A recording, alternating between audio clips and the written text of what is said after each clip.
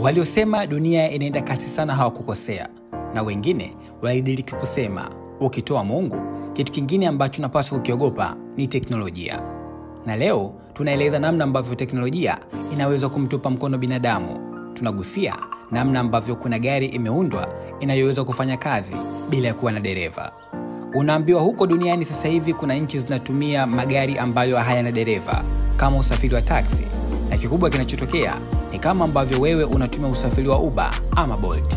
Kinachofanyika ni kwamba gari hiyo inakuwa imeweka programu maalum ambayo wewe mtumiaji utalazimika kuiomba ama kuirequest mahali ulipo na mahali unapoenda, na yenyewe itakufuata. Sifa gari hii ina kamera zaidi ya nane mbele ya gari, nyuma ya gari, chini ya gari na juu ya gari. Inaweza kutazama katika levo ya nyuzi 360, yaani kuona kila upande. Na ukishaingia ndani ya gari hiyo, inachokifanya ni kulinda usalama wako kwa kukutaka ujifunge mkanda wa gari na kisha ubonyeze button maalum ya kuiamrisha ianze safari ya kukupeleka unapotaka.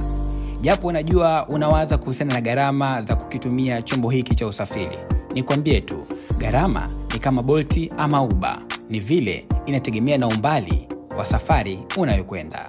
Asante sana. Hii ni Watch Technology, tukutane tena kwenye kipindi kijacho.